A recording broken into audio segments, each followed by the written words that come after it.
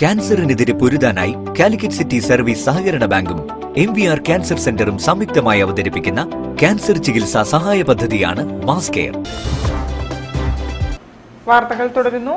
കേരള പ്രവാസി സംഘം കേന്ദ്ര ബജറ്റിനെതിരെ ആദായ നികുതി ഓഫീസിലേക്ക് മാർച്ച് നടത്തി. സംസ്ഥാന president advocate Gafoor P Lilees ഉദ്ഘാടനം നിർവഹിച്ചു. കേന്ദ്രം പ്രവാസികളോട് കാണിക്കുന്നത് തികഞ്ഞ അവഗണനയാണെന്ന് അദ്ദേഹം പറഞ്ഞു.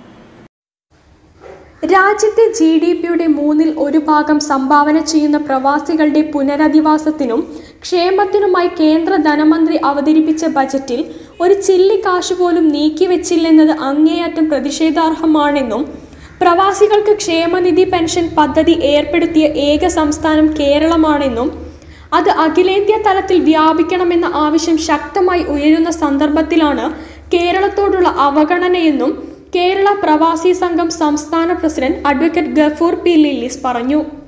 കേരള പ്രവാസി സംഘം കേന്ദ്ര ബജറ്റിനെതിരെ സംസ്ഥാന തലത്തിൽ ആഹ്വാനം ചെയ്ത മാർച്ചിന്റെ ഭാഗമായി കോഴിക്കോട് ജില്ലാ കമ്മിറ്റിയുടെ നേതൃത്വത്തിൽ നടന്ന ആദായ നികുതി ഓഫീസ് മാർച്ച് ഉദ്ഘാടനം ചെയ്ത് സംസാരിക്കുകയായിരുന്നു അദ്ദേഹം.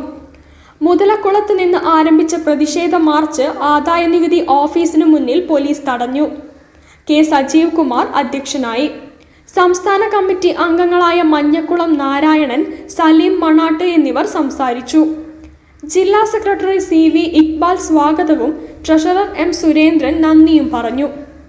ജില്ലാ joint secretary Shijith T P executive അംഗങ്ങളായ ആസാദ് പള്ളത്ത് സൈനബ സലീം എന്നിവർ നേതൃത്വം നൽകി. News bureau Kozhikode. ഭിന്നശേഷിക്കാരായ യുവതി യുവാക്കൾക്കു വേണ്ടി സൗജന്യ തൊഴിൽ പരിശീലനം